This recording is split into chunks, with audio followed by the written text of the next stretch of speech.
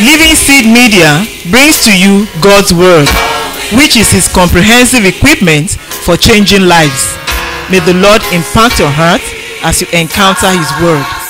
For further inquiry or counsel, contact Peace House, P.O. Box 971, Gboko, Benue State, Nigeria. Telephone numbers 0703 03636 59 0703 7681198. Email address lsmedia at livingseed.org or visit our website at www.livingseed.org. Let us sit back and listen as the servant of God brings forth the word of life.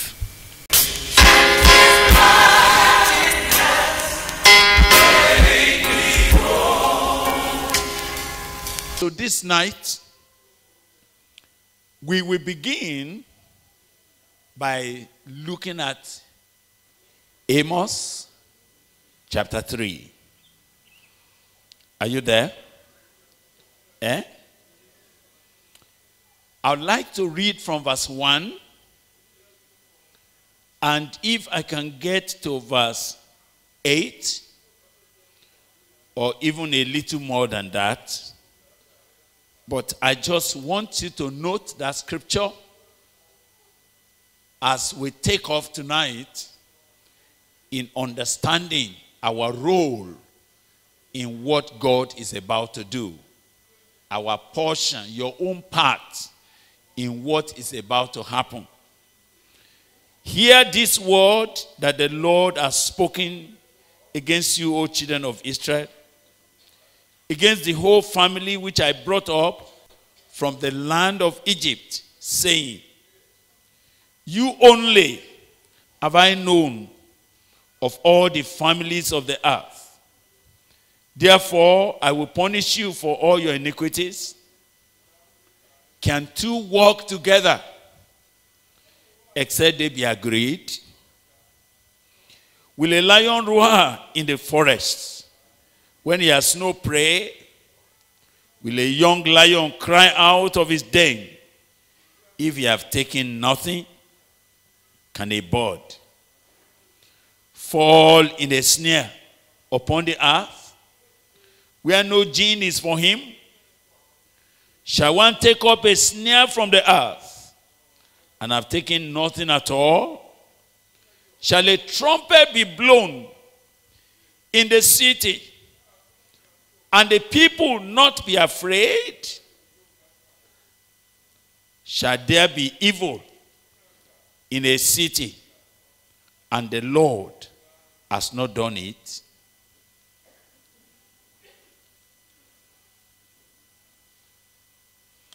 Surely the Lord God will do nothing, but he reveals his secret unto his servants, the prophets. The lion has roared. Who will not fear? The Lord God has spoken. Who can but prophesy? Amos chapter 6. Amos chapter 6. Woe to them that are at ease in Zion and trust in the mountains of Samaria, which are named chief of the nations, to whom the house of Israel came. Pass ye unto Calneh and see, and from thence go ye to Hamath the great. Then go down to Gath of the Philistines. Be they better than these kingdoms? Or their border greater than your border? Ye that put far away the evil day and cause the seat of violence to come near, that lie upon beds of ivory and stretch themselves upon their couches and eat the lambs out of the flock and the calves out of the midst of the storm, that chant to the sound of the viol and invent to themselves instruments of music like David, that drink wine in bowls and anoint themselves with the chief ointments, but they are not grieved for the affliction of Joseph. Therefore, now shall they go captive with the first that go captive, and the banquet of them that stretch themselves shall be removed. May the Lord bring insight and wisdom to his word as we read tonight in the name of Jesus Christ. I'm dealing tonight your role, your own part in what God has declared to do in our generation. If what God is about to do in our time does not require or does not involve or has nothing to do with your personal input, God may not even speak to you, He will do what He says He will do. If you have no portion in what God is about to do, then there will have been no need for God to bother you about announcing what He wanted to do in our time. Every time God makes an announcement in the ear of a man, every time God makes an announcement in the ear of a person, either a man or a woman, it is because there is a role that man, that woman is required to play.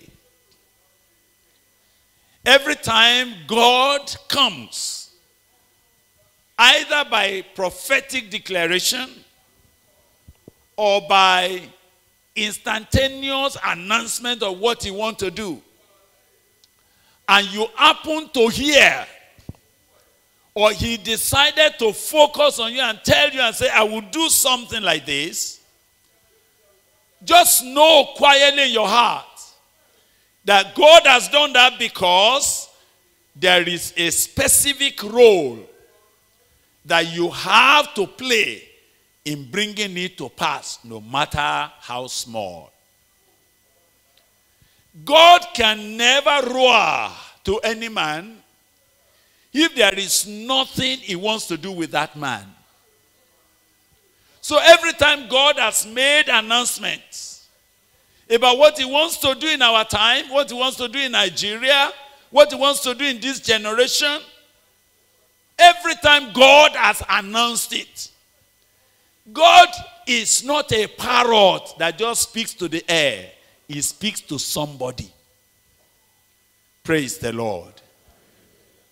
Whenever God has announced or taken upon himself to speak in the presence of anyone, that man, that woman has an indispensable role to play in bringing the purpose of God to pass. And so tonight, I want to begin to look at your role, your portion in what God is about to do now. By the grace of God, as we continue tomorrow, we'll be looking at strategy for your response. But tonight, I'm praying that God could impress upon you as an individual, you also, that there is something that God is looking forward to your life to contribute as a role to play in what he is about to do. God does not speak to men who are passive. If you were passive before, whenever God speaks to you, you must change from passivity to activity.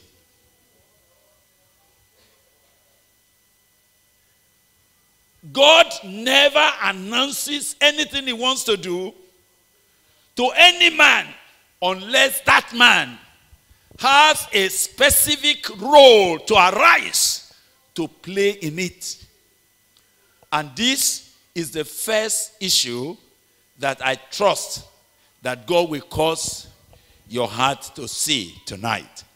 Before I begin to look at the book of Amos, where our text is being drawn from, and where I perceive God will be speaking wisdom to our hearts, can I just generally remind you that when God came to announce unto Noah that the wickedness of the earth has become so much before him and that he, he, it repented him that he made man and that he was going to destroy man that he had made with his hands and that there is going to be a flood. Let me ask you why did god come to speak to noah? Eh because god wanted noah to do what to act god wanted noah to do something about it. And if you go reading your Bible, you will notice that the Bible particularly responded. The Bible spoke about Noah's personal response in that situation. We cannot go to the book of Genesis, chapter 6 and chapter 7, chapter 8, to discuss Noah's response, Noah's role towards what God was about to do in his generation. But we can read a summary of his response in Hebrews chapter 11. Would you like to quickly look at Hebrews 11 and verse 7, please? By faith, By faith, Noah, being warned by God uh-huh, concerning the events as yet unseen, Noah being warned by God concerning an event which is not yet to be seen. Yes. in reverent fear, Uh-huh. constructed an ark Okay. for the saving of his household. Uh-huh. By this, he condemned the world and became an heir of the righteousness that comes by faith. Thank you very much. What version did you read? ESV. ESV. Thank you. By faith, Noah, being divinely warned of things not yet seen, God was speaking to Noah about things that have not yet happened, things that nobody has ever imagined. God spoke to him. Did Noah just hear it and say, Well, thank God? Is that what Noah said? What did Noah do? I want you to read it again. The Bible said Noah did what? Moved. What's the meaning of the word moved? Eh? Action. Action. He moved. When God speaks and announces his eternal purpose and plan in your ears, what is the first response you need to give? You need to move. Those who hear God speak to them and they don't move, they, they, they make a caricature of God confiding in them. When God speaks, God does not speak in vain. A lion does not roar in the wilderness if there is nothing to catch. Praise the Lord. When God warned Noah about what has not yet happened, what has never yet been seen, nobody has ever seen flood before. It has never occurred anywhere. But once God spoke to Noah, this is what I'm going to do. What did Noah do? He moved. He responded. He acted. He did not procrastinate. He did not push and say, till another time. May I inform you that Noah moved. Not that he was not doing something before. Not that he did not have some certain activities or business. But when God spoke, what God says to Noah became the priority. Once you hear God speak to you, there is nothing else to do than to do what? To move. Tell somebody, brother, get ready to move. Sister, get ready to move. God normally does not roar if there's nothing. That's why when we come to read the book of Amos, you will see the cry of God to a people that he has spoken to. He has revealed his secret to them. He has spoken about what he wanted to do in their generation. And they were going to make nonsense of it as if he has not said anything to them. It will not happen in our own time in the name of Jesus Christ. We are going to move. The Bible said Noah moved with what? With godly fear. He moved with godly reference. He moved with a sense of urgency. He moved with a sense of divine responsibility. It occurred to him that since God said he is going to destroy the whole world by flood, he said, Let me move and prepare eh, a place, an ark, for the saving of as many souls that are under my hand and those that will believe. And because he did not know, God did not tell him exactly, are you hearing me? What particular day or hour the flood was going to come. So, how did Noah operate? Talk to me. How did he operate? He operated in haste, he operated with godly fear, he operated with a sense of destiny, a sense of responsibility. He operated as someone who is working under a sense of time. He moved because he didn't know when the rain will come. Every day he woke up, he said, Lord, I hope it's not today you are going to send a flood. When he was about to sleep, he was praying and so oh God, but I have not yet finished. I don't know whether it will come this night. So he moved with godly fear. Many, many people have heard God speak about what God wants to do. Many people have heard about the things that God is about to do in our time, but they have not moved. They have not moved with a sense of urgency. They have treated what they were doing with a lazy hand. And so it looks as if the promises will not come to pass because the men that God was depending upon to move, they have become lethargic. One of the things that I've told God about that this year must be a year of movement. You will move in the name of Jesus. We are not just looking for monuments. We are not just looking for one activity of a moment. We are praying that what God has said to us will make us to move until we become a movement into the purpose of God globally. Did you hear me? This thing that God is talking is going to be global. We are moving, we are moving globally. We are sending men forth and say, You go and move there. You go and stand there. You go and do this because God has spoken. The lion has roared.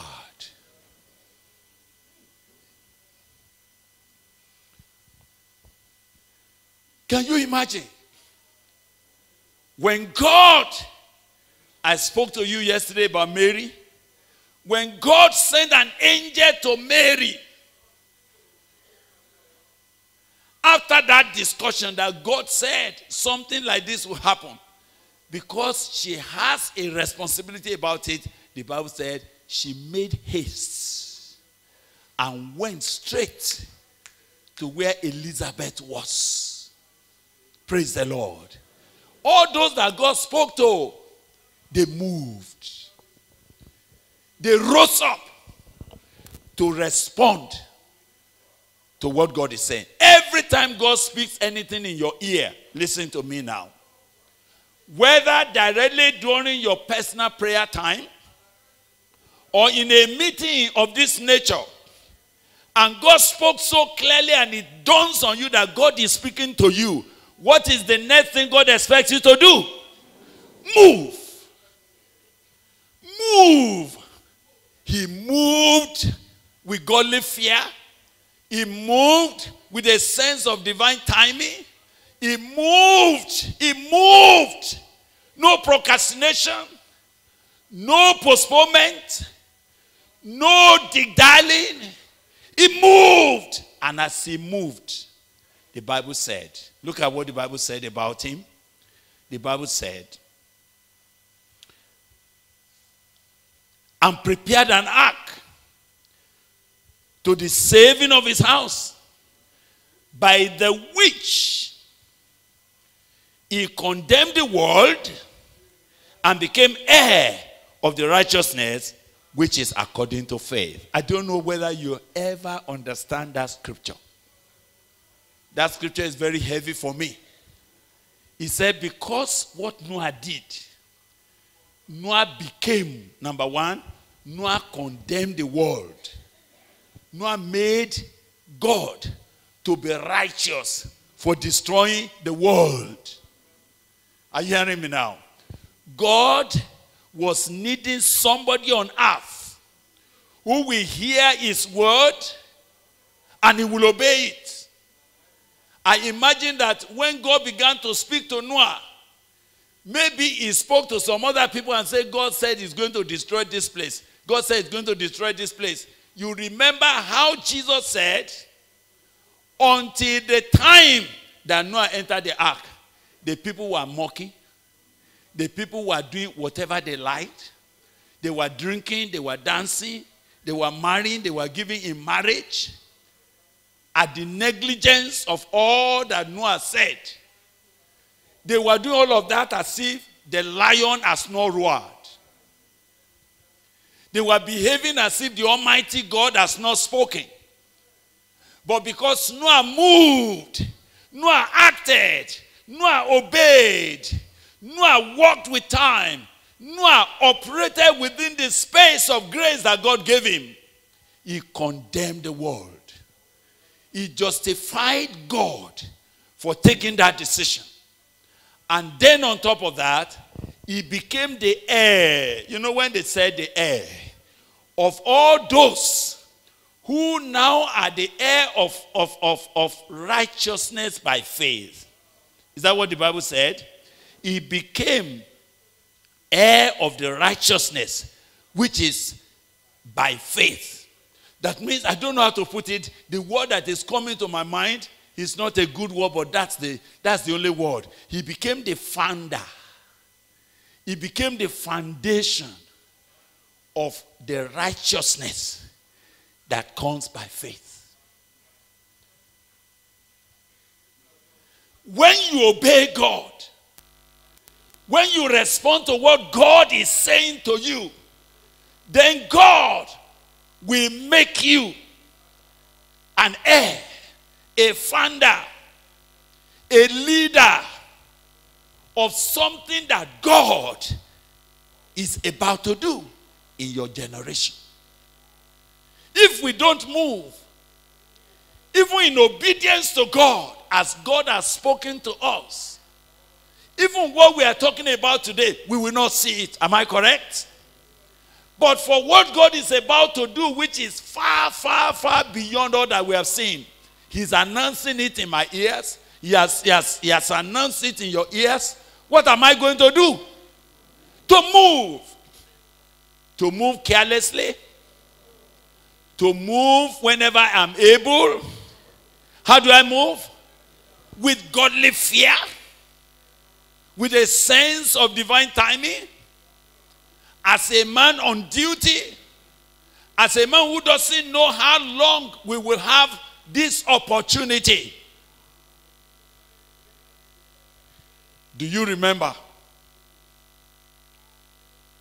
when the word of the Lord came unto John the Baptist in the wilderness?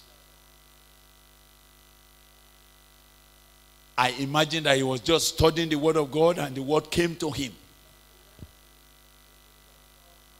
What did he do? We were told that John the Baptist came into all Judea and he began to preach. He began to say, The kingdom of God is at hand. He moved, he did something, and everybody around him they began to know that something is about to happen. Praise the Lord. All I'm saying tonight is that whenever God has spoken anything in your ears or in your presence, a responsibility to act has come upon you. You can't go back and say, well, thank God for what God has said. The Holy Spirit is requiring that you will take responsibility to play your role in that which God is speaking about and declaring. Now, follow me back. Now, because I want to walk with this time tonight, I want you to follow me now to Amos. We will read those two passages of Amos. Then we will take another little passage just to illustrate. And after that, you will be praying. All I'm doing tonight is that you will move. God will move you. God will set you ablaze. You will take responsibility for what God is saying in our midst. In the name of Jesus Christ. Now, look at the book of Amos that we read. Amos, we read chapter 3, and we are reading 3 and 6. Are you there? Right. Amos chapter 3. The first thing he said, Hear this word that the Lord has spoken against you, O children of Israel against the whole family which I brought up from the land of Egypt, saying, May I first note that the word against that you see in verse 3 is not first and foremost what God loves to do. Ha, you are not with me. Eh? God does not come in the first instance to speak against you. If you hear God speaking against a man, what has happened? That means God has spoken to him. God has spoken to him. God has spoken to him several times and he refused to move. He refused to act. He refused to respond. When a man had become sluggish and disobedient to what God has said to him, when he has procrastinated and postponed, you are going to see the next passage where they were postponing it.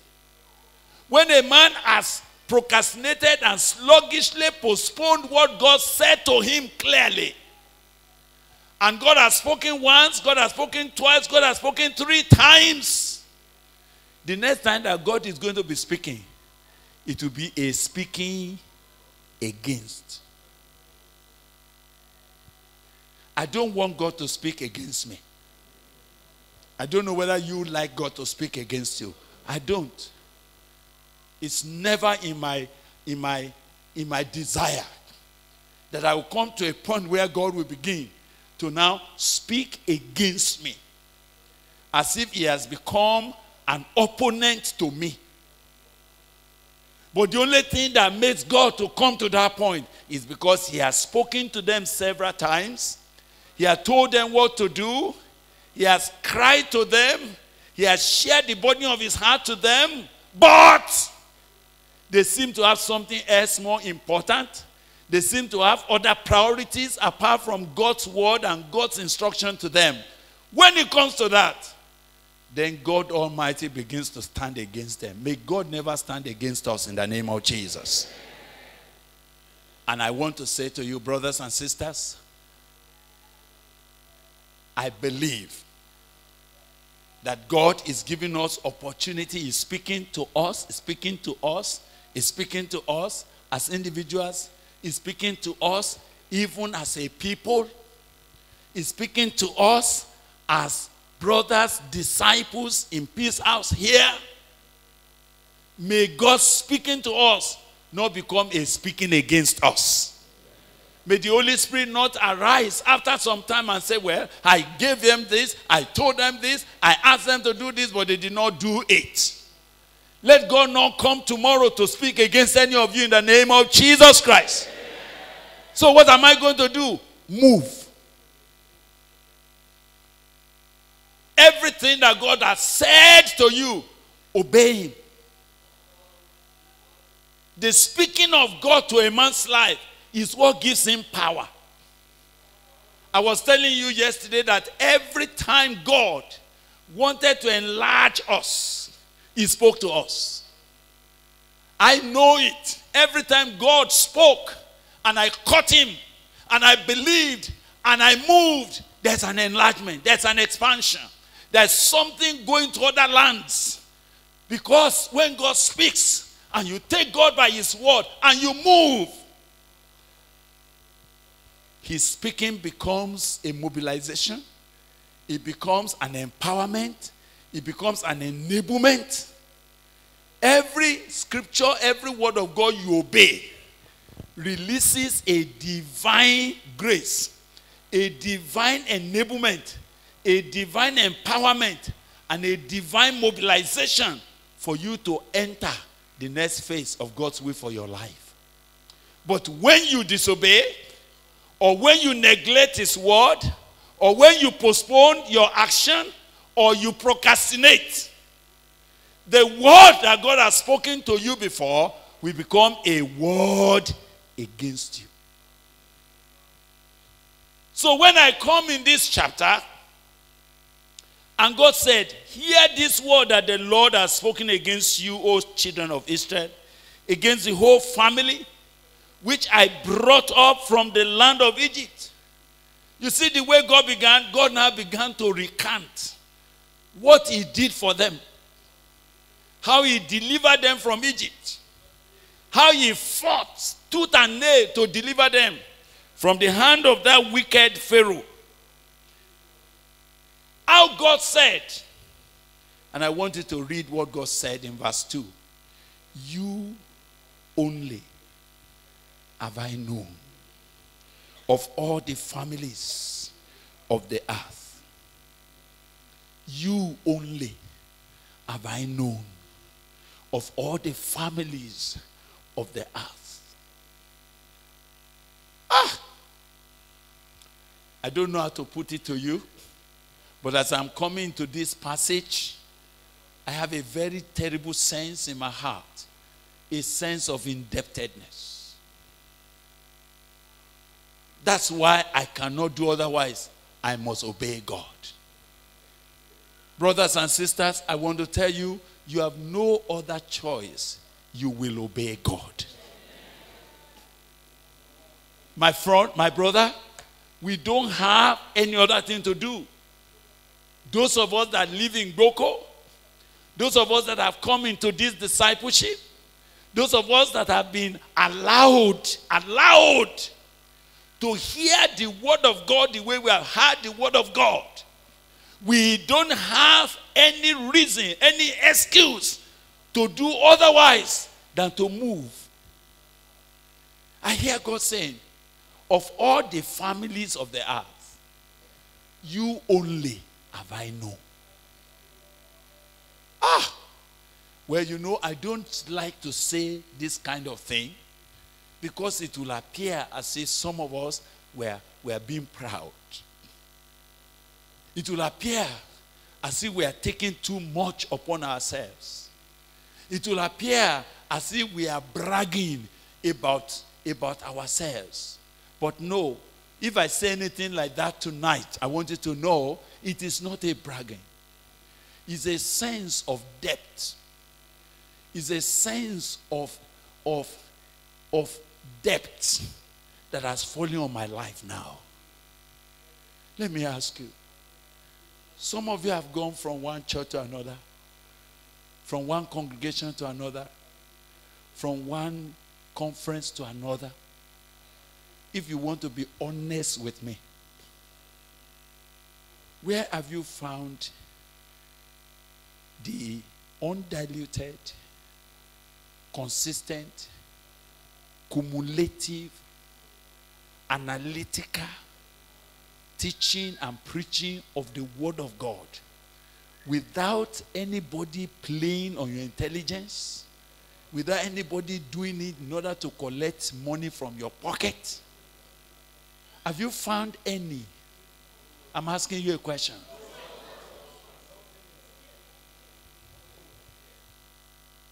You alone have I known of all the families of the earth. Sometime I'm sitting back say, God, why are you revealing this thing to me? Why are you making the word of God to open the way it has opened? Why is it that you are giving me such insight into the scripture that people have read and gathered and walked over and yet they didn't see anything? Why? Each time I ask God why, He said, You are responsible for what I'm showing you. Some of you will not know that when we started to talk about discipleship,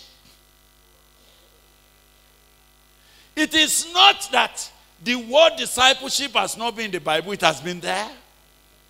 And it is not that there are not brothers who try to talk about being discipled.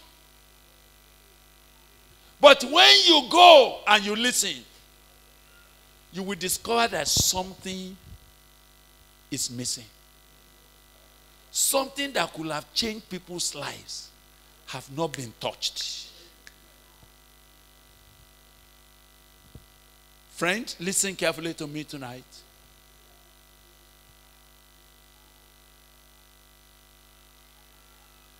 When I came across, let him deny himself.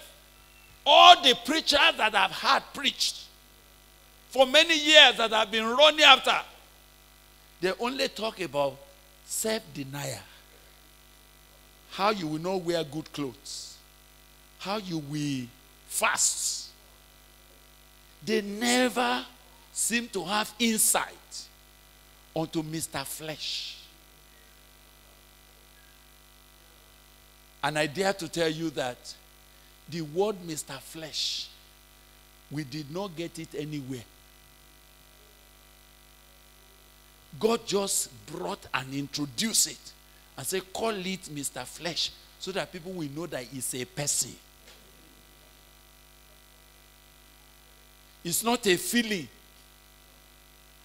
It is not just some bad habits. It's a person.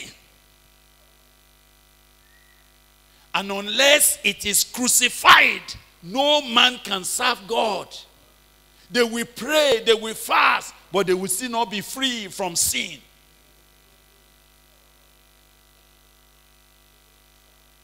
We went after the holiness preachers and I sat and sat, we fasted, we did all that we were told to do, but we did not get victory. And up till now, I still know so many who went over and over and over and they have not experienced victory because this light did not shine to them. And what I'm telling you, if it was just that it's local, you say, Where is Gboko? No. All the places I have seen that that with God in mercy has revealed to us was the answer to the cry of nations, of tribes, of people, white people, Asians, different kinds. Whenever they came in touch with this, something happened to them. Suddenly they say, But we have never seen it like this before. Anytime I hear people say it like that, I never thought they want to clap for me. I only thought they are saying you are a debtor to your generation. How could God reveal this to you and it will die in Gboko? How will God reveal this explosive to you and it will perish in your stomach because you are not moving? I had gone to teach discipleship some years ago, many years ago, in a school of mission. Before I began to go there, they were teaching discipleship and self denial and all of that. But when they said, Rabbi, can you come and help us take discipleship just for two weeks? Something happened. As I was praying, first they gave me their syllabus and they gave me the textbook they were using. And as I was looking at this, I heard the Holy Spirit saying to me, Put aside those things. Listen to what I need to show you to help men here. Those textbooks, how many has it helped? So I, I politely said, Thank you very much. But permit me to develop this course the way God is leading me. They says, okay. At first, they were skeptical. Because it looks as if, what is he going to say that we have not been saying? But I could remember God did something that again put me into a serious indebtedness. What was it? I started. I just took the conditions of discipleship. Those things that you are reading in the uh, conditions and uh, what do you call that book now? Aha. Those things. Those elaborateness that God allowed us to have. Let me tell you how it came. It was one night I sat there in that village preparing to teach the student the following day. And I wanted to say, What is discipleship? Then the Holy Spirit began. Began as I was noting, noting, noting. I said, God, you mean this is it? Then I started studying the Bible. I started seeing. I said, Ah. Now, the result was that after one week, I'm going to be there for two weeks. After one week, something happened in the whole college. Things changed people came under conviction. They were going from room to room, from their lecturer to another lecturer. Say, I you think I was born again. I have been wicked. The thing that was lost in those days that you were setting committee about, I was the one that did it. There was a sister that you are you sent away from here, and you said because she was something. I was the one that slept with her. Ah, the entire place changed. So both lecturers and students they were attending the class. And I remember the way God was working. God said, Don't live here until every soul crosses over from the life of the flesh unto the new life. So I will sit with individual, I'm telling you, one by one, all night.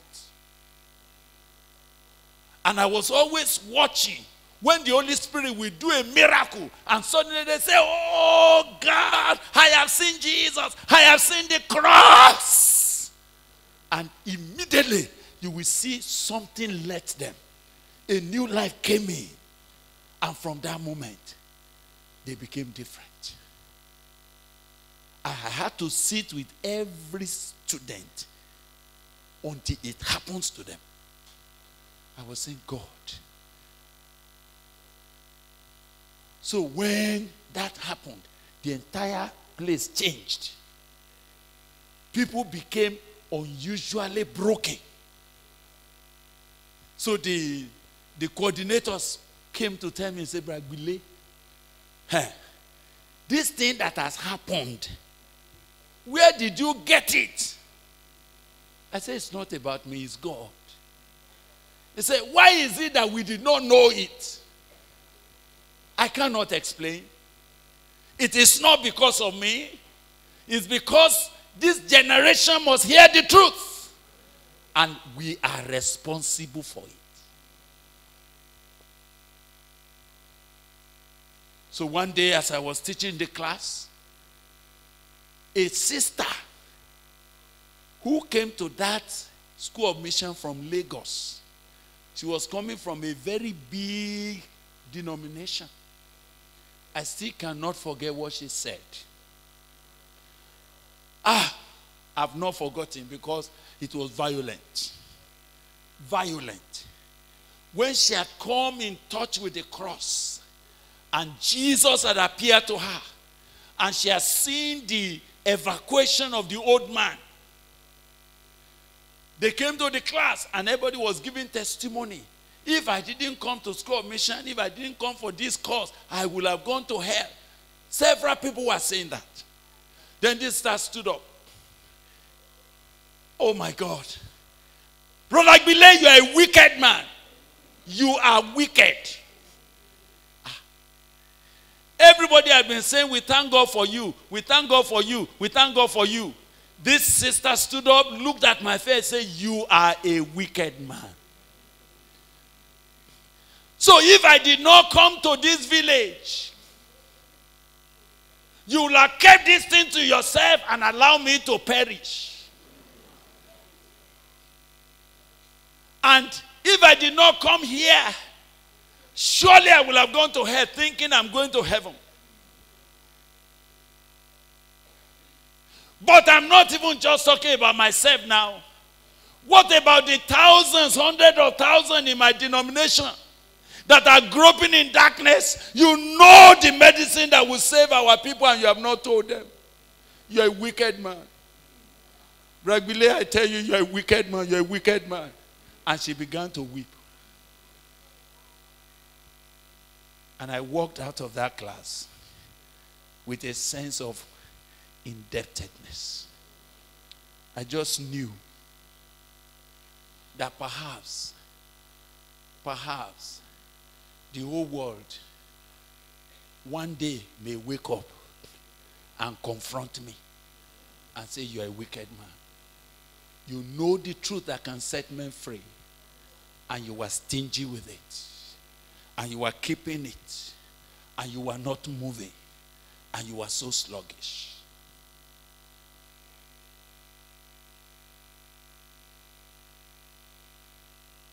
Brother, I talk to you tonight because something must move out of here. The reason is because the world will demand their blood from our hands if we will not move to do what God has told us to do. Listen carefully to me.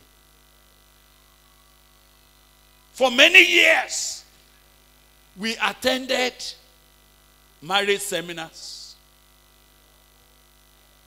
To the point that I concluded that anybody who is serious for God should not marry. Because all the marriages that they were describing to us never worked. And this was what made me myself to prepare that I would just be a pope. That I don't want any trouble in my flesh. I need to serve God till I get to heaven. If marriage is going to be this kind of problem, then God came and said, No. The original marriage that I planned for my people is because you have not discovered it. I say, Where is it? He said, Genesis 2 marriage, Genesis 3 marriage. We've never seen that anywhere before. Nobody has tagged it like that before. Genesis 2 marriage. What is that? And what is Genesis 3 marriage? I remember one night for almost 12 hours, non stop. God would not let me sleep. He kept revealing and explaining to me that this particular marriage was spoiled because of the fall of man. And Genesis 3 marriage started and is the one you met throughout until you came to, to First Corinthians and all of that. I say, oh God, haven't you changed your mind? He said, no. He is still intending to restore the marriage of his people to what he wanted it to be originally. He said, that's why I'm showing it to you. And that's why I also want you to marry. So that you will be an example, a prototype of what I'm talking about. Now I'm asking you. Maybe you may not know. Those things that we had put together in marital, uh, what, what do you call it? Building marital, something, uh, no more two, and all of that. If you are reading very well, can you take that book and compare it with any other book you have read? Talk to me. Are they the same? At first, I was afraid. I said, Oh God, is this not going to be treated as a strange false doctrine?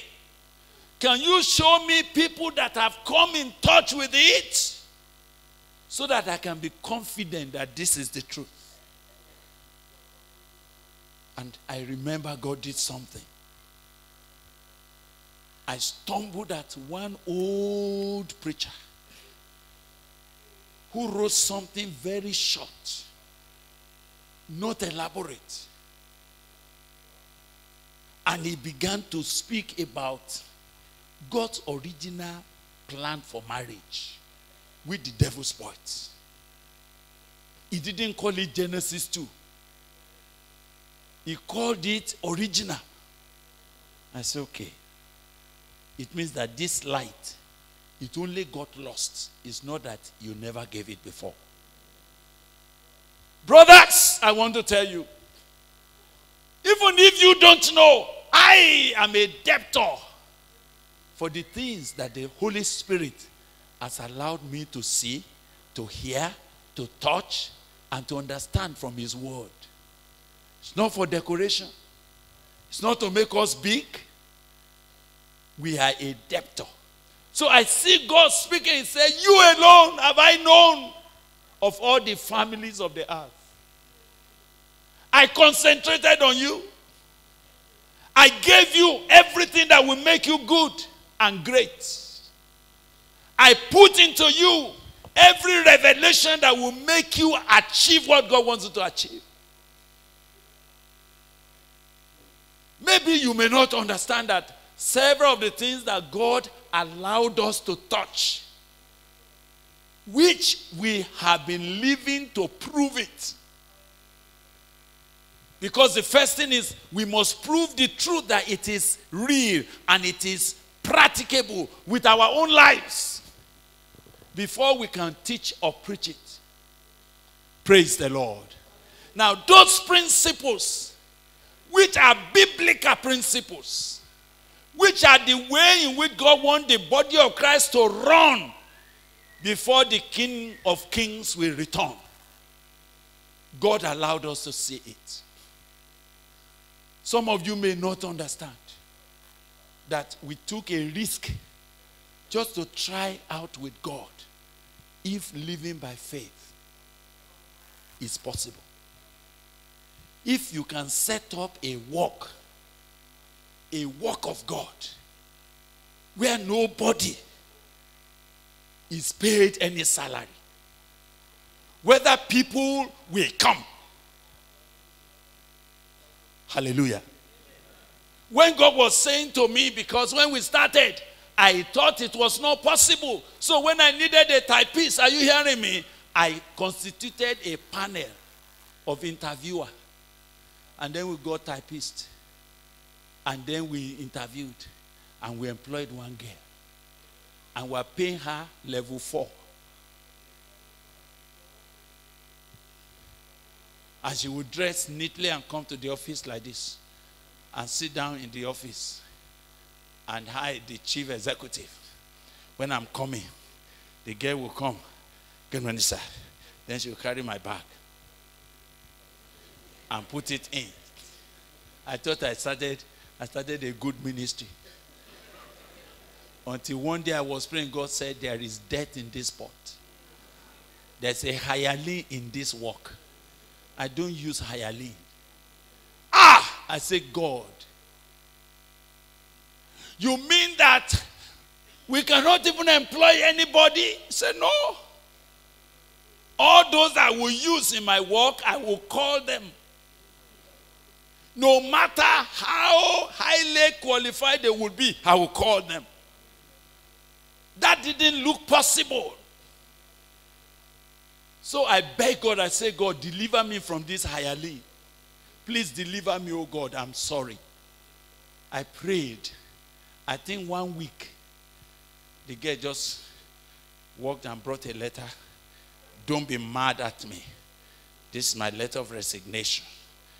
I said, when will it take effect? He said, from now. She thought I was going to be mad.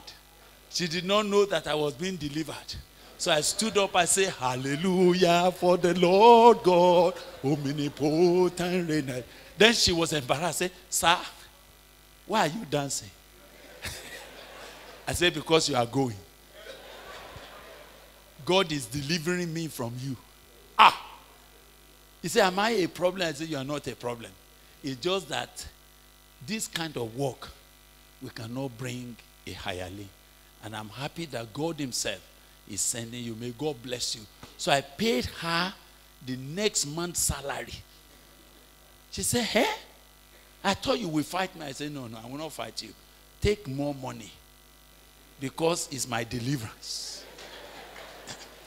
now, do you know that from that time, when I told God no more, when we needed anybody to type, we asked God. It was overwhelming when God began to call graduates, graduates, to come and learn typing and be working. It was overwhelming when engineers were told, leave what you are doing, report to Brother Gbile in Gboko. It was overwhelming when people of high qualification were being sent. When we wanted to start Calvary Arrows College, I said, God, you know, this is now a very serious school.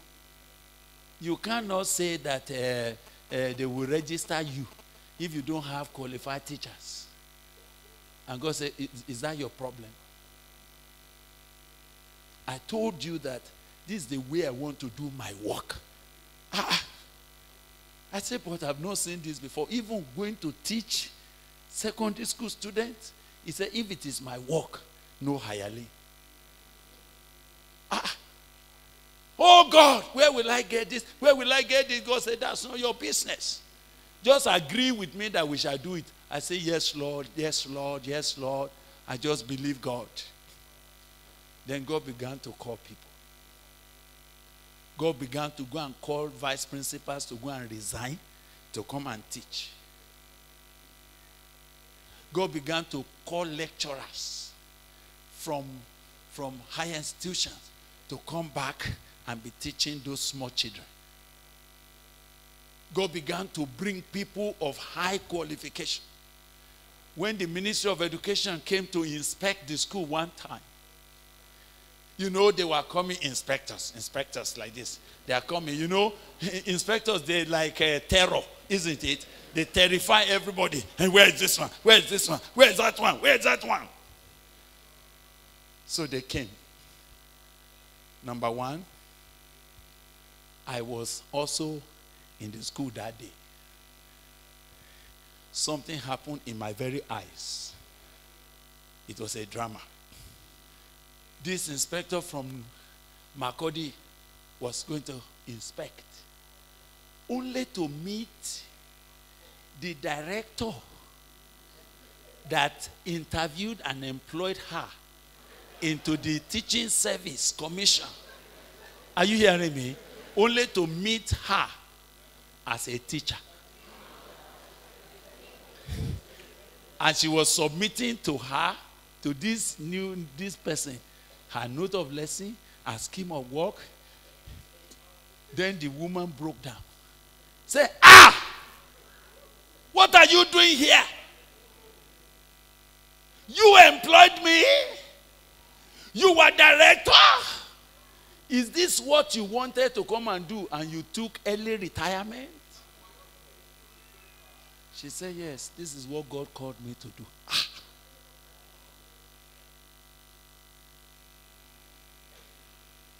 They wanted to check another person. He saw that this one was his own senior when they were in school. He said, ah. So they turned to me and said, Mr. Akanni, where did, what did you do to get all these kind of people to this place? How much are you paying them for them to leave that kind of high salary to come here? I said, oh, for your information, they are serving God. We, do, we can't pay them. The man said, now, wow. Another one said, I fear you, sir. You know, as they were leaving, whatever they planned collapsed because we gave them much more than they expected. But the question in my mind was God, can that kind of thing happen? Can we do such a work such that nations must come back here to say, we learned that the word of God is still working. Can you show us how to serve God? We are indebted to God for that. The nations are waiting for the things that God has revealed to us, that He has allowed us to, to experience and to practice in our very eyes. Am I communicating with you at all? God said this kind of school, no school fees, no levy. Parents that have anything, if they have anything to, to bring food for their children or support any those that have more, those that don't have, that's we don't bother. Nobody will be sent out of Calvary Arrow because of school fees. Never. How will they eat? But I have had testimonies over and over again. Parents say, We don't know what you feed these children with. After one time, they just become big. We don't understand. Says the grace of God. Now, I'm telling you that that kind of kingdom work is what God is looking for in His church. We are in debt to the nations to bring the truth to those who are yet to know how can you do this kind of thing. When he came to hospital and God said, even hospital, you are going to do that for me also as a template. We are not, we are not doing it so that we can make money. Where will I get doctors? These are very costly people. Physiotherapists. Highly qualified people. We are not talking of uh, all this makeshift when you go to all those private hospitals and they use somebody who did not graduate very well and they are now all kind. We are not talking of that. We are talking of matrons, chief matrons, senior nursing officer, principal nursing officers, those that were experienced. We need consultants, doctors that have experience to come and do something. Where will you get there? I say, God, you mean you want us to do this kind of thing again according to the principle you are teaching? I say, yes, because I want to demonstrate that the principle of God's word is what the body of Christ must go back to if we are going to see the move of God again. And I'm only using you as a template. So when the medical team was constituted, I told them, I said, in this, you know the same principle. Ah! Someone say, hey, sir. Mm. Let us, uh, you know, when we have consultants, uh, let, let them charge. And then uh, I say, no. If God is not able to send us consultant, let him wait. Brother Abba, Peter Abba, are you here today? Uh-huh. Have you been paying any doctor? Eh? Do you have consultants coming? Do you have special clinics that you are running? Eh? And how much do you pay them? You have ophthalmologists, you have uh, gynecologists, you have uh, eye doctor. All of them, they come and they are serving as unto the Lord. Where has that ever happened? They are coming from abroad and they want to stay here and just do their own. And when we allow them, they come back and say, Bro Gbile, thank you for giving us a chance to make contribution. This is the fulfillment of our life now. This is the kind of thing we wanted. We didn't know how to get at it. Friends, the things that your eyes have seen in Gboko makes us a debtor.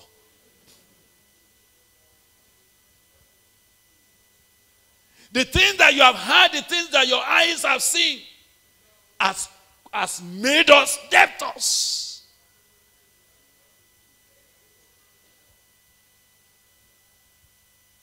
That's why it's not about size. It's not about, it's about something God is doing that is unique.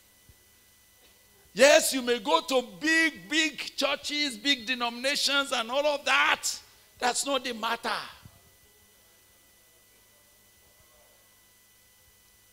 I had to stop one work, the work we were doing in Lagos many years ago. That work was wonderful. Look, we were already on Radio Lagos. They were broadcasting the living seed everywhere. It was wonderful. And the, the work was looking good. But uh, mistakenly, we did a, a meeting, a marriage seminar for one week. The meeting was good. I was teaching and preaching. I thought that the people that were working with me, that they are disciples. I didn't know they're hireling. So, you know, I just came down just to thank this brother that is before the mixers. Ah, bro, thank you. God bless you for what you are doing. Ah, the Lord is good. The Lord is good. Then another brother said, eh, Bro Gbile, by the way, we need to pay him 12,000 for what he did yesterday. 12,000 for what? He said, You see, as you see them when they come to organize a public address and uh, all these things, it's at a fee. We pay every day. We just settled 12,000 for yesterday. Today we are going to give him another 12. As if the brother was saying, Don't thank him. He is doing his job. But he did not know that he has punctured something. Immediately, my spirit got twisted. I said, God, what are we doing here? God said, That's it. There's no work here in Lagos. Oh. Close it down. Ah. Then when the meeting finished, I attended the meeting of the organizing committee. Good brothers. But they have not yet understood this principle. They were talking about how they are going to keep the uh, living seed on Radio Lagos, Radio Nigeria Lagos running. And that, uh, you know, we're paying this much. And then uh, there's a sister that we have asked to help us do intro. And that she's charging 30,000 to do one minute intro. Uh-huh. I'm hearing those things for the first time in my life. That somebody is serving God and he's collecting something charged like that. Ah. I say, hey. Then they began to talk say, yes, brethren, uh, those of us that are serious, we're behind this work, so let's let's perform, let's perform. Ah. And I'm hearing them, performance means, uh, brother, something. How much did you say you are bringing? We need it by tomorrow. Uh, brother, so and so, how much is your own? Bring it. Ah. I said, Where am I? Where am I, oh God? Am I in Peace House or somewhere else? When they finished, I humbly thank them for what they are doing. I thank them for their zeal. I praise God for all that they have done so far, but that we are going to stop. Billy? No! We can't stop. Ah, we have to stop. I said, because this is a strange fire. It will consume this work. This work can, it doesn't, we don't, I don't need publicity. We don't need big manship. We are not competing with anybody. We don't need anything. We are not, we are not, we don't want to be the fastest growing church in the country. No, we don't need all of that. We just want to serve God. Please, we are stopping. Right straight to the uh, Radio Nigeria Lagos that we are withdrawing living seed. Hey! People wrote me all over the country. We are no more hearing your voice. We are no more. I say, yes. We have to stop it because it's not according to pattern. You remember that the first, uh, the second MLR, the theme of MLR was building according to pattern. There's a pattern, and Jesus is that pattern. If we don't follow Jesus as a pattern, we are doing nothing here. The body of Christ is confused because we are not growing according to the pattern of Jesus. The pattern that God showed us that this is my beloved son, hear him. We have abandoned that pattern. And God is saying, Who shall I send? Who will bring back this pattern to the body of Christ in revival? That's why we are set up. We are a debtor to our generation, please. So the peculiar things God had revealed to us. So when the work stopped, and I stopped the work for seven good years. Seven years. One day I was praying, the Lord said, Now there's time to begin the work in Lagos, but you are going to start it like I've always started my work. You start with one or two. Don't start with a program. Start with hearts that can be trained. Thank God for the work in Lagos now. They are breaking forth and they are growing. They are getting to all the things that God wants them to get to. Are you hearing what I'm saying? You alone have I known among all the families of the earth. I say, ah! You gave us this kind of insight. You gave us this kind of revelation. The kind of things that God has said. Listen to me, brother. We are debtors to God for it. Can you imagine? I was praying. I said, Lord, God said He wants us to write book. And He gave instruction of how our books must be written. It's not for show. It's not to promote anybody. And it's not for any of us to get money out of it. I said, So, Lord, how do we do it? He said, I will call men that will do it for you. Suddenly, God began to call people. I remember one of our books. After the first book, that again fell into the hand of Hayali. And God began to say to me, Look, what I've called you to do, people don't understand it. You can't just commit it to the hand of men who have not been circumcised for it. If you see us laboriously dealing with the issue of discipleship, becoming like Jesus, learning Jesus, it's not because we want to be we want to be difficult. It's because we must build according to pattern. We're a debtor to our generation. But permit me to finish on that so that I can get you to where you are going. So when that other one went the way it went, I repented. I said, Oh God, from now on, if you cannot sponsor this book by yourself, I will not, I will not write again. I will just keep wait until you are ready to do it according to your pattern. Some of you don't know why the books are the cheapest you could find anywhere all over the world. It's because of what God told us. Can I tell you what happened? We finished working on God's pattern for Christian service, that book on Deborah. The brother that was doing the typesetting did all the thing he can do. Then they took it to a press this press in Lagos. And as they got there, the owner of the press, once he saw Brother Gbile's name, said, What? Did you say this book is written by Brother Gbile Akanni? He said, Yes. Ah! All right. Please bring us the manuscript. And help us there, Brother Gbile, that for the first 10,000 copies, we will print it for him free of charge. Paper, ink, and everything, including binding and everything. He has no responsibility about paying for the first 10,000. They can sell it at any price they like. Are you hearing now? They can use the money to do anything they like, whether they want to use it to print another 10,000 what is their business. But this one is our contribution to the work. Where have you seen that kind of thing before? What kind of ministry is this?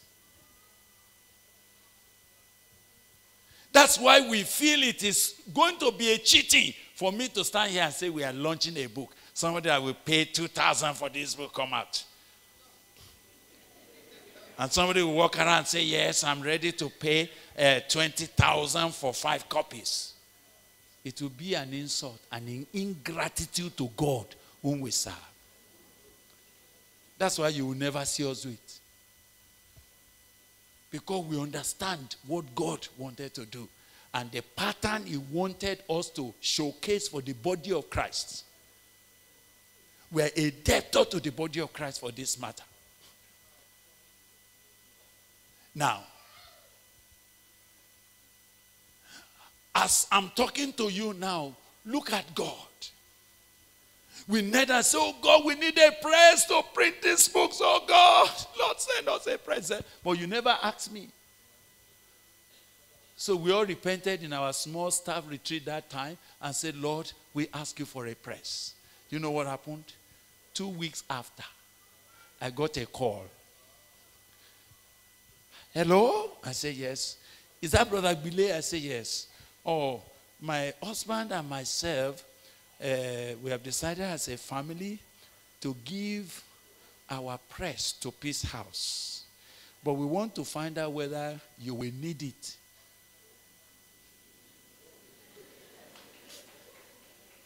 Are you hearing what I'm talking about? I thought they said they would give us one machine. Because before this time, I went about pricing. Uh, Charles, do you remember the kind of. Uh, You remember that thing that you were trying to get? That that's what we shall be using to print this work. Our eyes can't see where then. Suddenly, that call came. I fell on my knees. I said, God, is that it? He said, Yes, you told me to send you a press now. When I sent the brethren to go and see the press, I discovered that they are going to bring a whole, a whole organization. Every as that press is what you are seeing here. When you have time, just go inside there and see and see agbalugbu orí ọ̀fẹ́ Ọlọ́run Olódùmarè. Go and see. The day we were bringing the thing in and people were rolling it, I was saying, ah, God. Just at once. Magnus had to think quickly how to build this place for the gift that is coming because we did not expect it. And as I'm talking to you, even now, people are undertaking to print our book and say it's free of charge on their own. What kind of thing is this? Where is God going with this work? What does God want to teach the body of Christ by this thing he's doing? What kind of template is God asking us to produce for his church all over the world? We are indebted. Our debt is, is, is, is, is, I don't know how to put it, it's invaluable. We owe the body of Christ in our generation something that they are looking for. They are looking for Christ. And he has come to speak to us about Christ, about himself, about how he does his work, about how he raises men, about how the purpose of God can be done.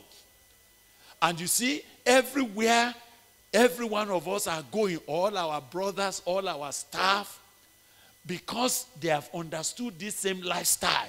The same thing is happening. It's happening in Cote d'Ivoire, Baba. Eh?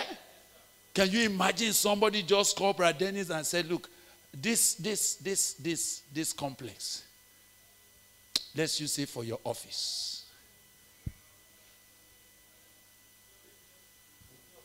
Free of charge. What kind of ministry is this?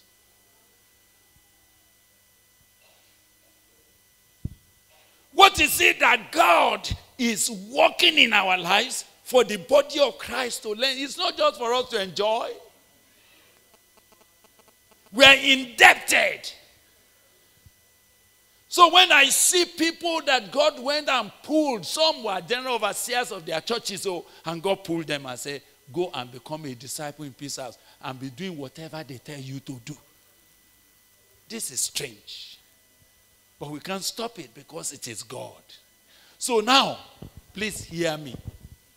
If God has taken this time to do this thing in your eyes, you are a debtor.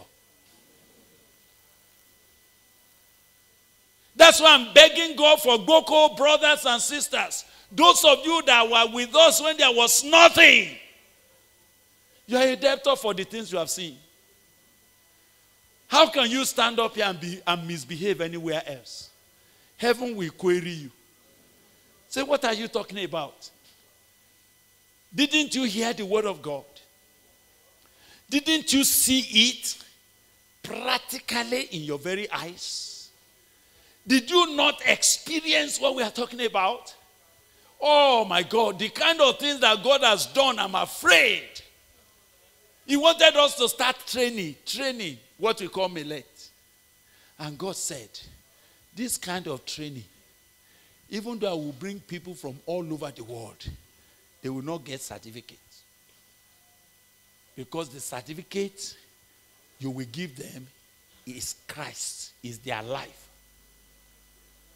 You don't get letter of recommendation, you will become our epistle. Ah. I said, God, they will not come. Oh. He said, Who told you? They will be pressing to come. As I'm talking to you, you have seen it, Abby.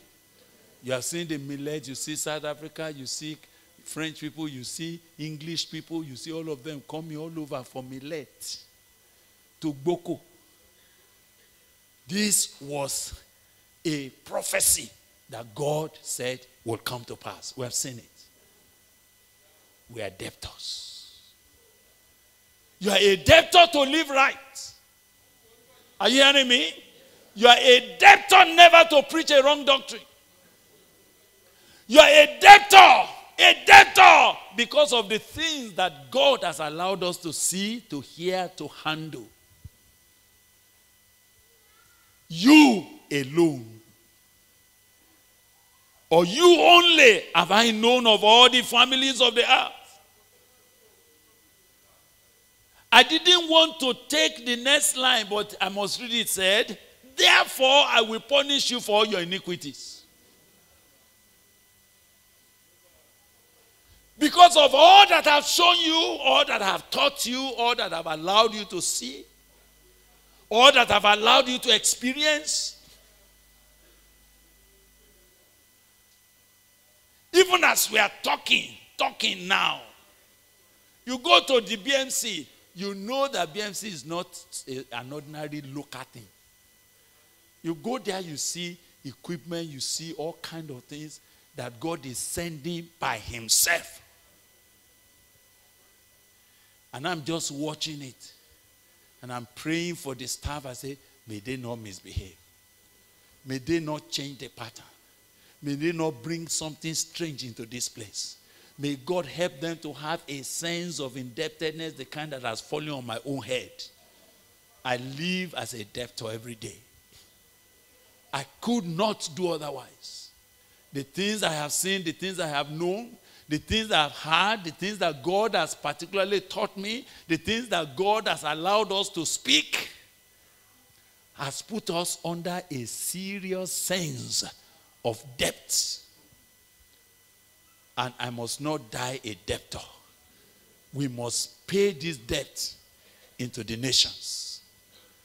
That's why we are bold to say, Lord, send us disciples from different nations so that they can catch this and go back and spread the fire. I see God saying, if you ask me for it, I will still do it. And I'm watching how God is calling men from different places and say, go to that place, go to that place. There's something there you must catch. If your life is going to be correct, if your ministry is going to be correct, if you are going to serve God acceptably, go there. I must not tell you other stories because it will make it look as if these people they believe too much in themselves. No, we believe in God. But because God has put his hand on our lives, we dare not do otherwise. We just have to behave well. May God help you to behave well. As we meet, as you carry a tent, as we go here and there, you know, receiving people from all over. May you never take that for granted. May you never misbehave. May the Holy Spirit keep reminding you that you are passing through a divine process. Because this is going to become a movement. So, what is your first role apart from moving? It comes in verse 3. Can two walk together except they be what? Agreed. Now, brothers, except they be agreed, can two walk together? And you know, for me, I'm not just talking about me and you walking together first. I'm talking about you and me walking together with who? With God. May I tell you that God has come to offer you a space as a partner in what He wants to do in this generation. Brother Sam Aheme is here. The kind of things that we saw when we when we just obey God to respond to the burden for teachers. And I remember telling the brethren, I said, Look, brothers, you know, I'm not talking about uh, salt in a sachet. I said, what we are talking about is not something that is uh, just among Christians and Christian schools. I said, what God wants to do is going to affect the educational system. Praise the Lord. That's why we said, let's believe God. We will write curriculum that will be adopted by ministries of education. As we talk now, can you remember how many different states, ministries of educations that are sending to Peace House to come and give training for their teachers? We're not talking of Christian teachers. Are you hearing me? We're talking of teachers. All primary school teachers, all secondary school teachers, by government. Where have you seen this kind of thing before?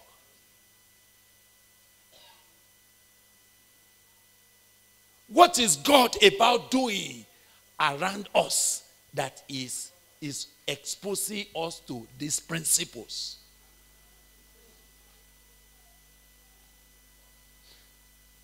But can two work together except they do what? They be agreed. So, what is the, apart from moving with godly fear, the next thing I'll call you to do is to come into personal agreement with God. What do I call it? Personal agreement with God. Please agree with God. Agree with God, my brother. If you are going to be relevant in what God is saying, you need to do what? Agree with God. Was it Job? Please let me read Job. I think Job said you should agree with God quickly. Is it Job? Please help me check. Is it Job 22, 21 or 21, 22? Please help me check. Brother Dennis, you used to read Bible. Can you check for me? I think it's 21, isn't it? Job. Job. Help me find out if you get it. Sister Shade, please. 22, 21. All right. Help us now. Read 22, 21 and go on till you get to verse 28 for me. Yes?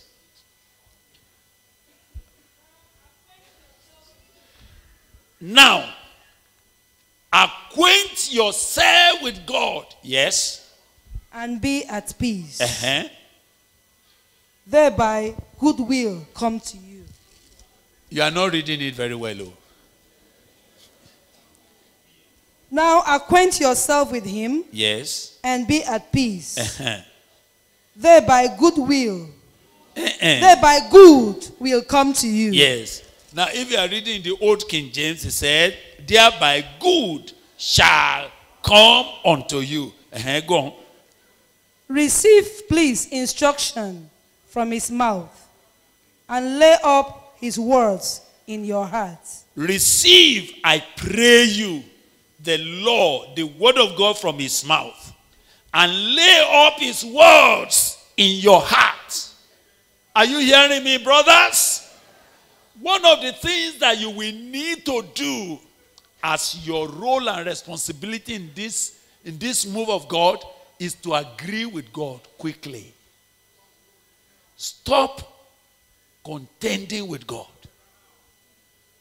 I want to see every disciple here become prompt obedient.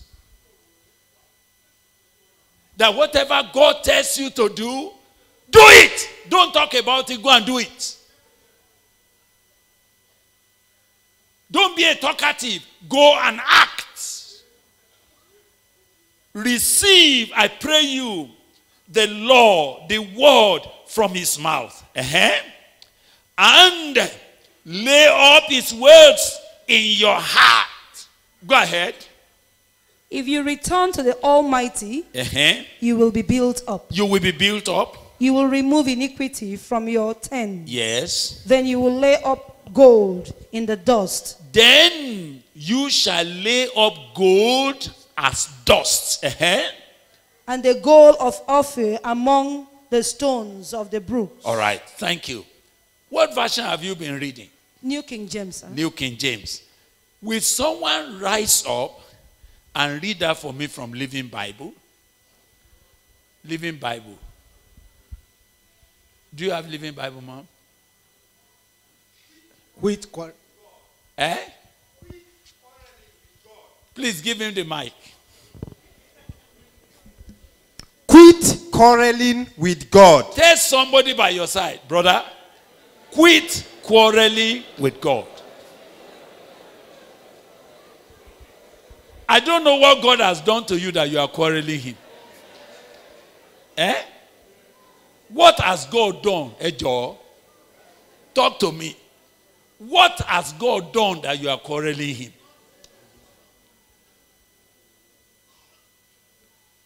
What offense has God offended you that you are the last to make him the king of your life?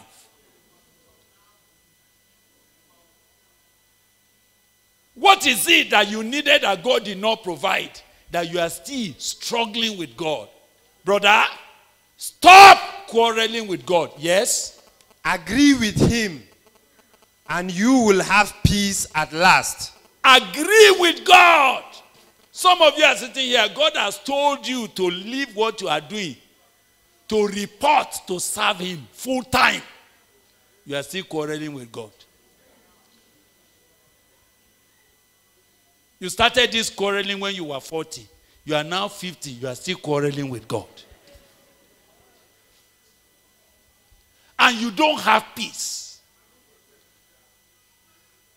There's nothing to show for all that you are quarreling about.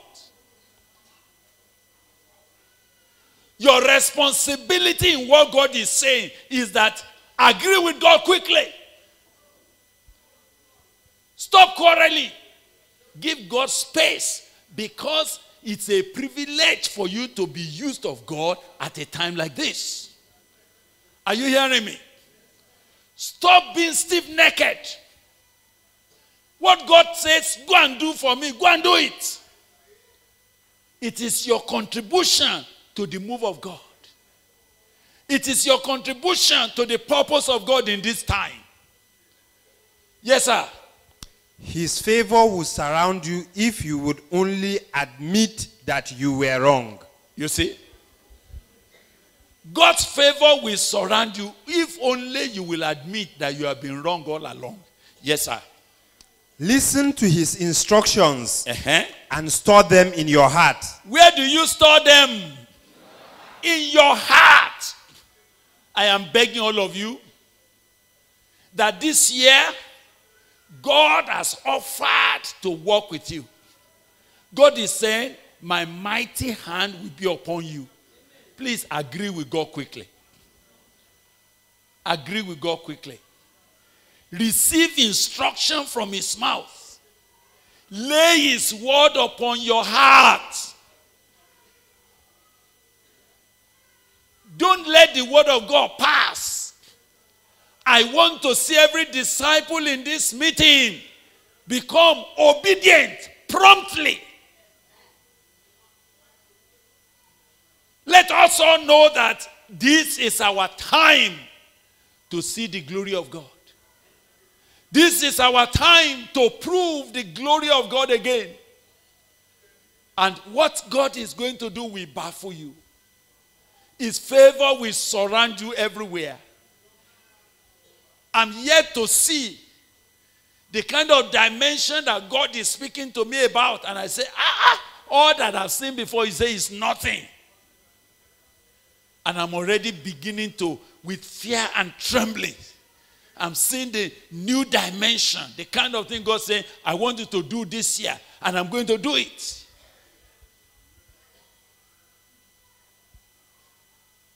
There are things that I thought, ah, could it ever be? And when God said, yes, it is time, we walk into it in obedience. We have seen it done. And there are more things that's about to happen. But I beg you, my brother, let there be nobody here who is quarreling with God. Sister, stop quarreling with God. Brother, quit quarreling with God. Agree with Him quickly. Brother, go on reading. Read on.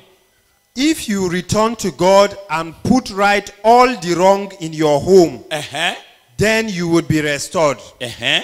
If you give up your lust for money Uh huh. and throw your gold away, Uh huh. then the Almighty Himself shall be your treasure. Oh! Oh! Oh! Are you here?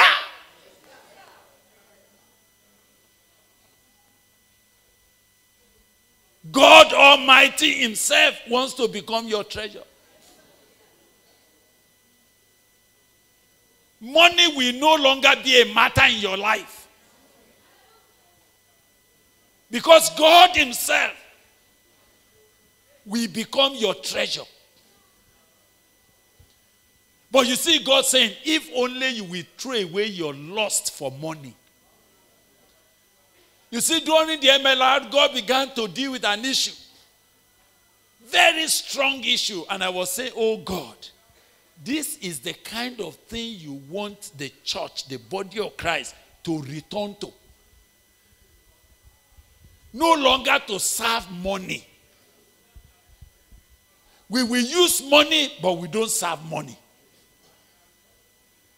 Money will come into our hands when we no longer look for it. We will be spending money in millions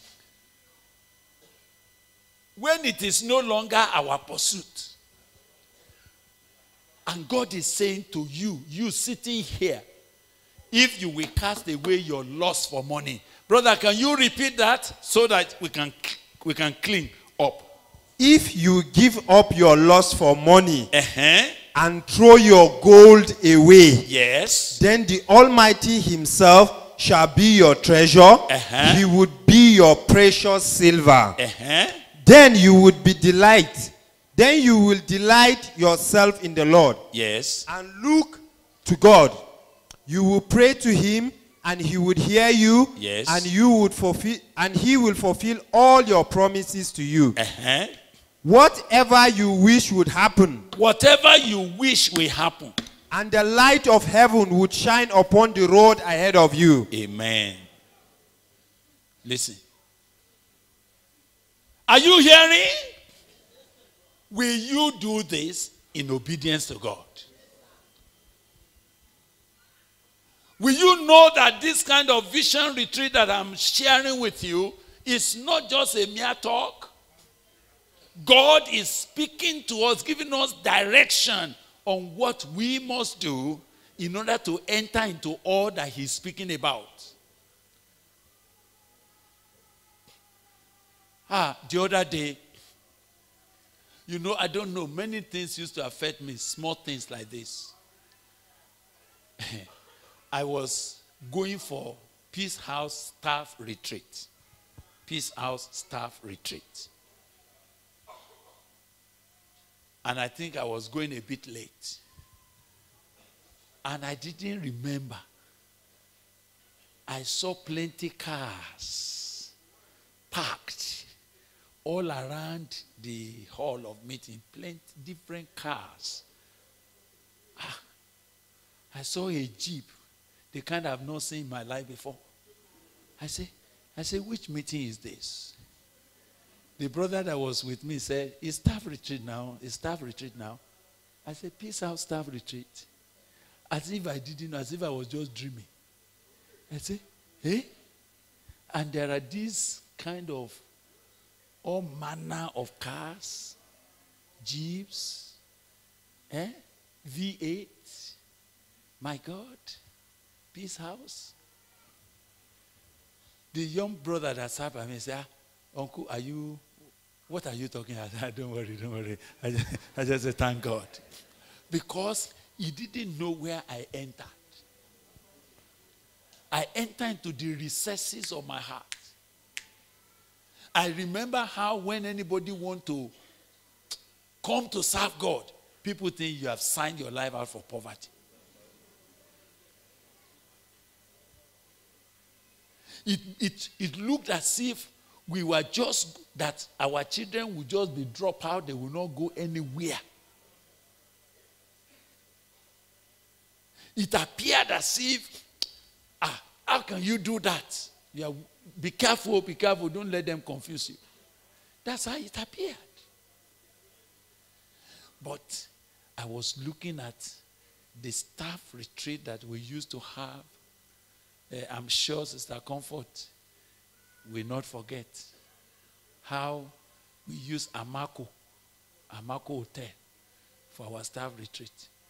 And that their little restaurant was the big hall that all of us sat in and we were okay.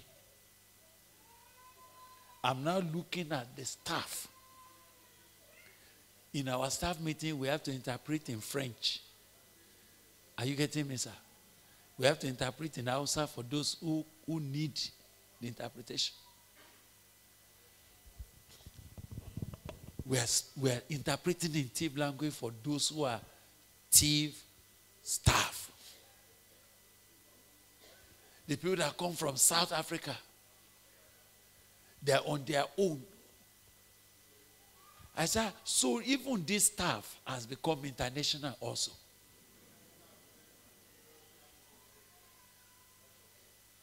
So we have to wear name tag now in order to recognize people who are staff. This thing that started in that small room. You mean this has happened? And God said, What you have seen is nothing new. I'm bringing people of different tongues, different tribes, who will be staff of this work all over the world. Americans are coming. Kenyans have already come. Gabonese are on their way.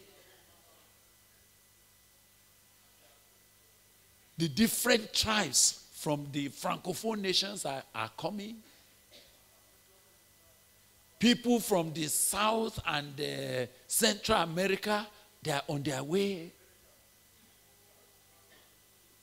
And I'm looking at God. I say, God, so you are talking of a walk that all tribes, all tongues will be laborers in it. And yet it is starting in a little place called Gboko. Thank you, Jesus. Now, my friends, stop quarreling with God.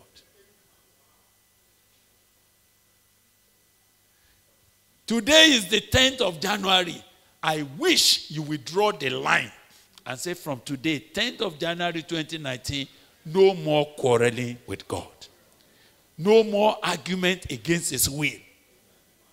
What you told me to do, Father, I will do it. Where you tell me to go, Father, I will go.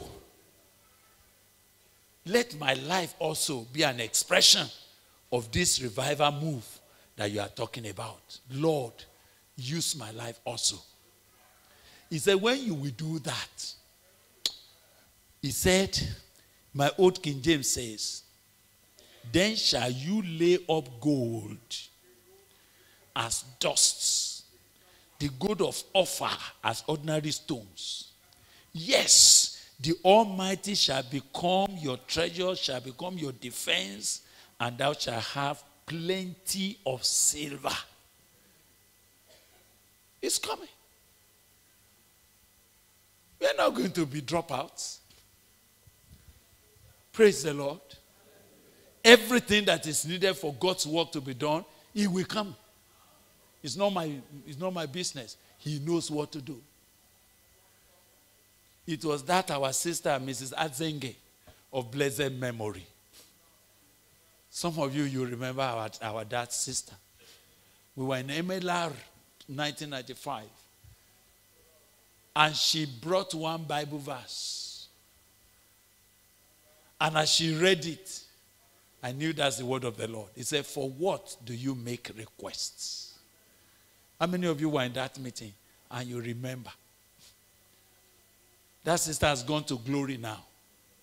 But they are all standing there saying, We were part of that thing. Lord, you promised us.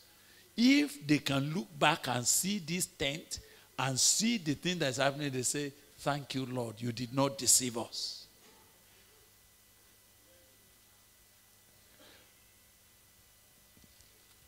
Can two walk together except they be agreed? Will me and you walk with God except we agree with God quickly? So I beg you tonight, God has not done it. Surely, the Lord God, the Lord God, will do nothing except He has revealed His secret unto His servant the prophet. The lion has roared. Who will not fear? The Lord God has spoken. Who cannot but prophesy? Let me now ask you do you think God is just speaking in vain?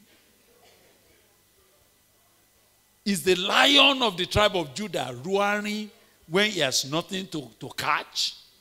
Eh?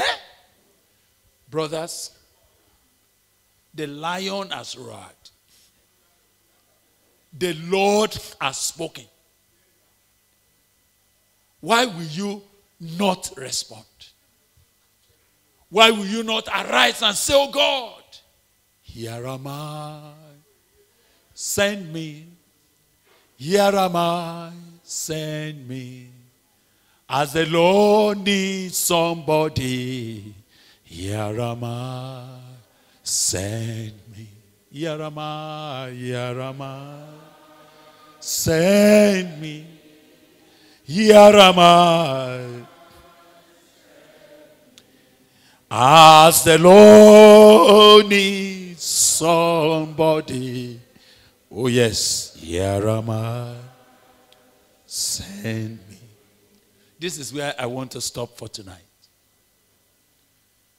My portion in what God is saying, because He's speaking in my ears, the lion has roared.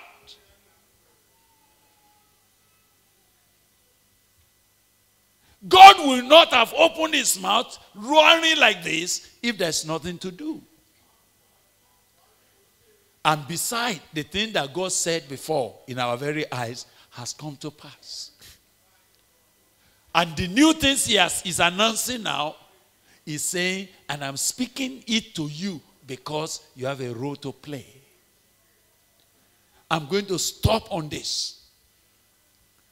When God will allow me tomorrow, because it looks very critical, I will come back on on on on the on on on um, Amos.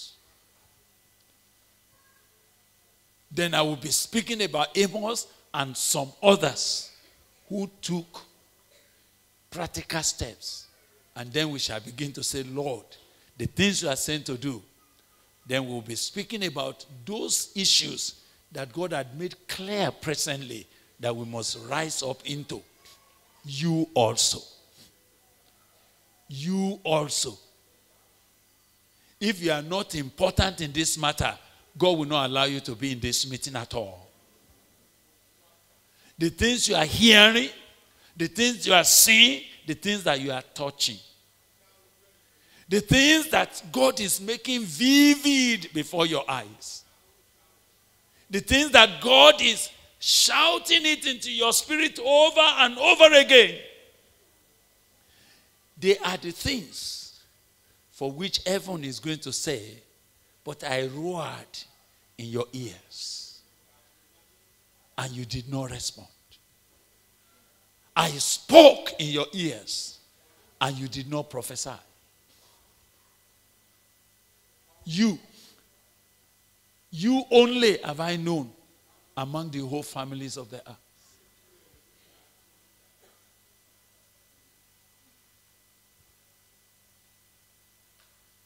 I'm asking you tonight stop quarreling with God. Noah moved, he moved. If you will not move, then you are not responding properly.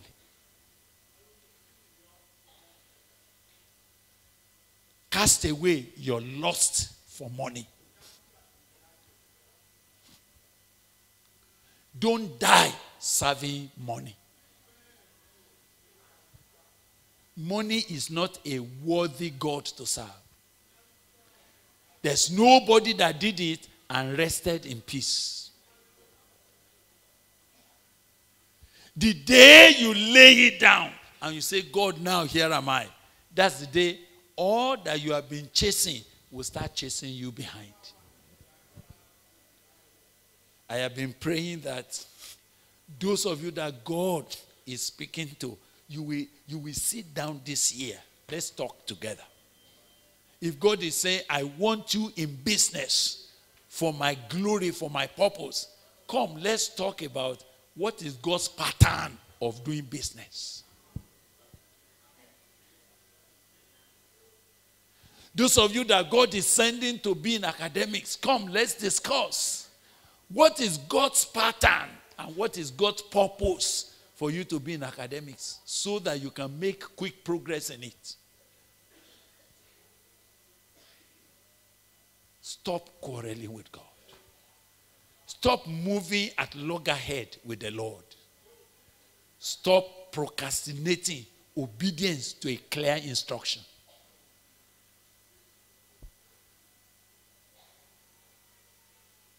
If God is saying, you also go into that vineyard and take your place. You also go into that Calvary arrows, take your place. You also go into that press. Whatever is right shall be given you. And someone may be, God may be saying, You also Bring your life out. We need someone to go to that nature and set up this kind of work there. You also go quickly and learn French because we need you in the Francophone nations.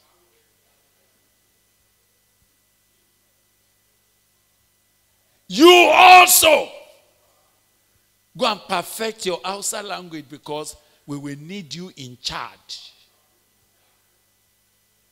And in Niger Republic because you are the one that have seen this life. You are the one that can tell the story of how it began. In recent times, I began to ask, Lord, how do you want to move? And God began to remind me. He said, of these people that have been with us from the baptism of John.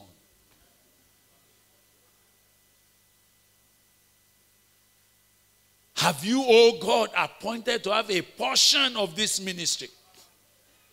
Who might go with us to be a witness of your resurrection? Do you know that it was not for nothing that God allowed you to be here from the beginning? You are a debtor. Don't die a debtor. During the MLR, there was a call. Many people came out. Thank God. But tonight, there's a call again.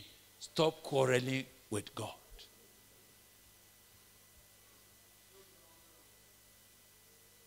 Don't think that what God wants you to do in your lifetime, you can keep postponing it, postponing it, postponing it. Don't let the word that is coming to you turn to be a word against you. May the Lord help us tonight. But I hear Jesus Christ standing here tonight and say, This is another day that God has set and today, if you hear his voice, harden not your heart. Some people heard him, but the word they had did not mix with faith in their heart. And so they perished in the wilderness. 40 years, God was not happy with that generation. This night, God is saying, stop quarreling with God. Hand over to God tonight and say, Lord, enough of this quarrel. I surrender my life to you. Let's let's arise and pray. And as we are praying, Holy Spirit is saying tonight, stop quarreling, stop struggling, stop looking here and there. God wants to become your treasure. Agree with God quickly. Agree to do what God is telling you to do. Agree to obey Him as He has spoken to you tonight. Thank you. Let's pray together. I just want you to lift up your heart and your, your, your, your soul to God. And this night, I want you to take a response. There will be a chance for you to come to this altar this night to say, Lord, whether it's the issue of an addiction or sin that God is saying, stop struggling with me. Agree that you are wrong and I will turn it round. Agree that you have not done well and I will forgive you and give you a new beginning. Please call on God together with me. But for me, I know I'm a debtor. He said, You are the only family have I known in all the earth. Ah! And I'm saying, Oh God, where else could I have gone and met the kind of thing you have shown me? I listen to people over and over and over and over again, and I do so with humility. And yet I know that they did not know what God has shown us. I have seen very hardworking people, but they did not understand the mercy seat that God brought us to. I'm a debtor. So tonight, if as you are praying, the Spirit is saying, Stop quarreling with me, go and settle it with God. He said, Come, let's settle the matter. Just come before Him tonight. Just walk out by yourself. I will not be calling you. I just want you to come out by yourself and say, Lord, enough of this quarreling.